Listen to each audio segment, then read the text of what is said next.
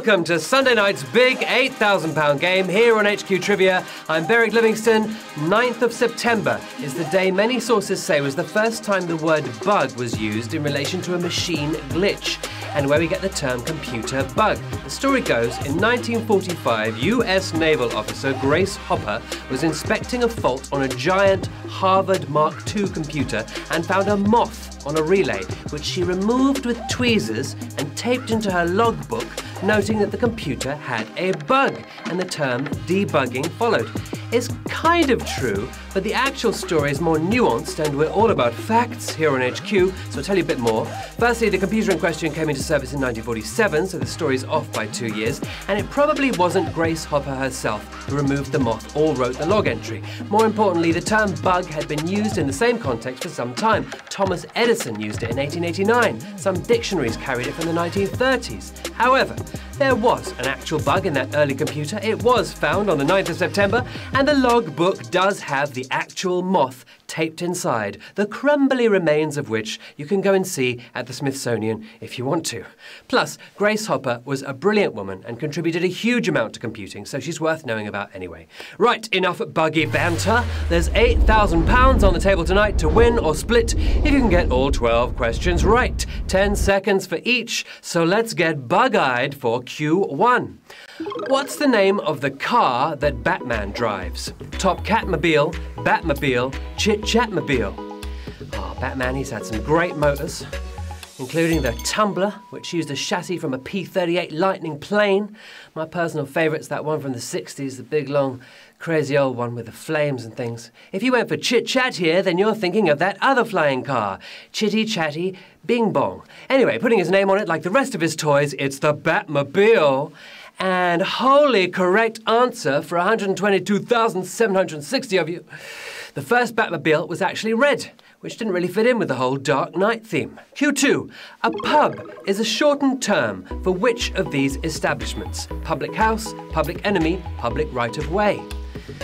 Ah, a bit of a pub quiz now. I love a good pub quiz. You're looking at the pub quiz of the future here on HQ. With no closing time. It's perfect. It may turn you into public enemy number one, but that's not what a pub is short for. Cutting all of us a key. It's a public house. Yeah, raise a glass, 120,947 of you got that right. Yeah, uh, the modern pub can be traced back to Roman times, but they've only been hanging out with quizzes since the 1970s. A big shout out to Ruben. Hello to Bob the Builder from Kent, to Judge and the IMG Studios crew covering the US Open final tonight. Cool. To Lisa in Fuerteventura and to Elisa, get well soon. And to Josh playing from hospital, same to you. Happy 25th birthday to Louise. Charlotte, Danny says well done on your driving test. And to Isabel and Abby, I hear you have choreographed a dance to the HQ music. Send it in, I would love to see it. Q3. In which sport did Rebecca Adlington win two gold medals? At the 2008 Summer Olympics cycling, rowing, swimming.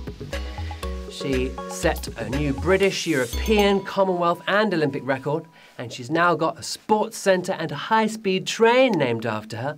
We all cheered her on in Beijing, but what event was she dominating? Water champion, it's swimming. Ah, yes, swimming and making a splash. 101,904 of you. Becky was the first British swimmer to do a double since 1908 and even broke the world record in the 800 metres freestyle final. Not bad for a 19 year old. It's going to be a brilliant week on HQ. On Tuesday afternoon, we have James Veitch hosting a show. You may have seen him here before. He's brilliant and hilarious, so tune in for that. Then, Thursday is another theme night, and beep beep baby, because it's fashion. Yeah, from Kanye's shoes to Lady Gaga's, ooh, whatever Lady Gaga's wearing. What even is that? I don't know. It's going to be fashion and it'll be fun, so join us for that. Q4. Koh Kat and Koh Mak are islands belonging to which country? Thailand, Fiji, Vietnam. Two beautiful islands, despite my pronunciation. Now, there is a co-op down the end of my road, but where will you find its floaty family members?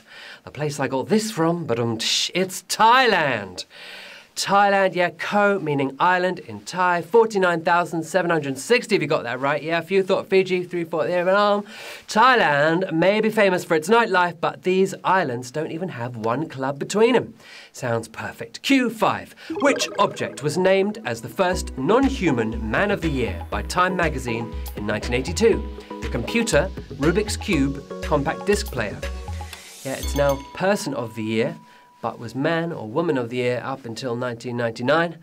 We were all crowned in 2006 because the Person of the Year was you, and you, and you, and you. Anyway, no, not you. Yeah, you.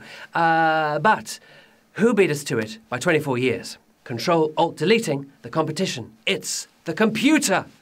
The computer, and it does compute for 22,646 of you, but that was a very beastly question. We lost 31,000 on that one. All right, well, you're playing on a mini one right now, but PCs were only starting to appear in homes at the time. Q6. Which of these dances is not used as a code word in the NATO phonetic alphabet? Waltz, foxtrot, tango. Officially, the International Radio Telephony Spelling Alphabet, adopted in the 50s. They say dancing is the language of love, but who got rejected from this alphabet? Triple timing on to the next round, it's waltz. One, two, three, one, two, three, 24,210 of you got that right. NATO uses whiskey instead of W, which explains why they need a phonetic alphabet in the first place. Q7. Which movie was inspired by a story that was printed on greetings cards? It's a Wonderful Life, The Princess Bride, Toy Story.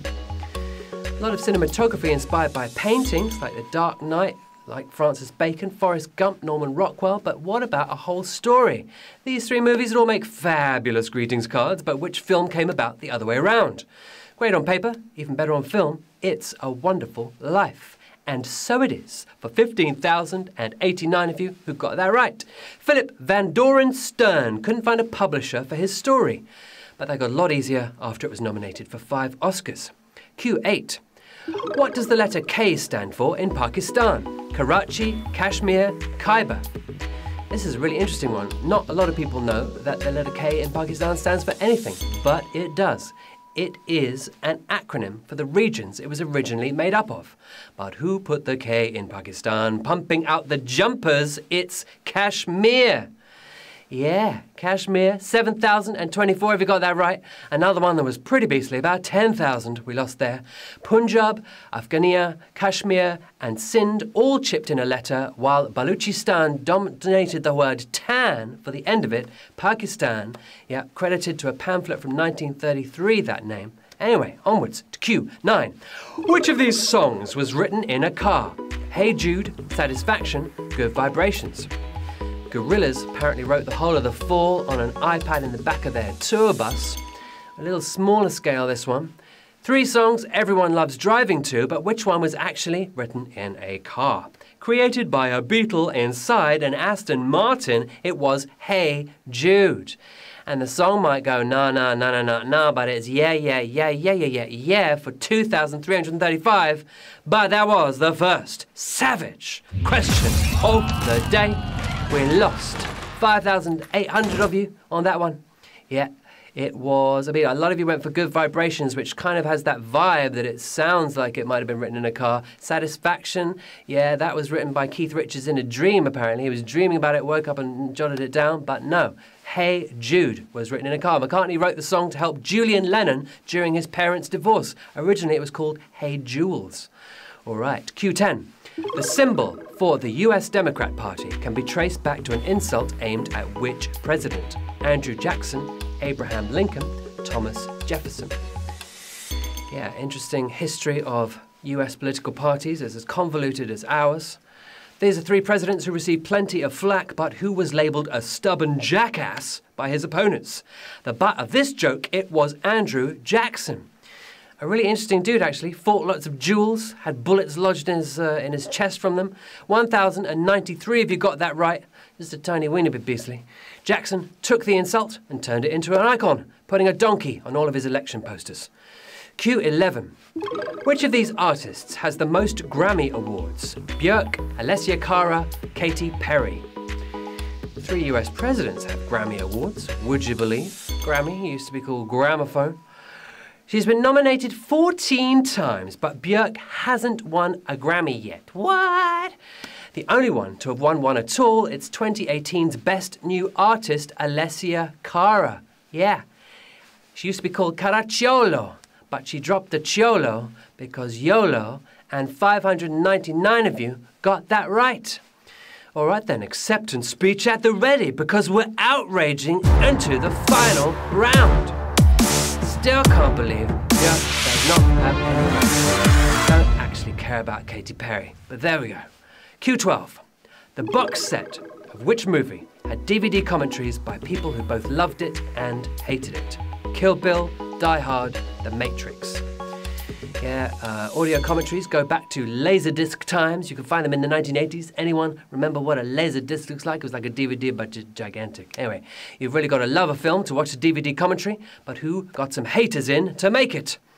Only one person didn't enjoy Die Hard, and they threw him out the window at the end of it. Great first film, garbage sequels. It's the Matrix trilogy for the win. And taking the right pill, 261 winners tonight.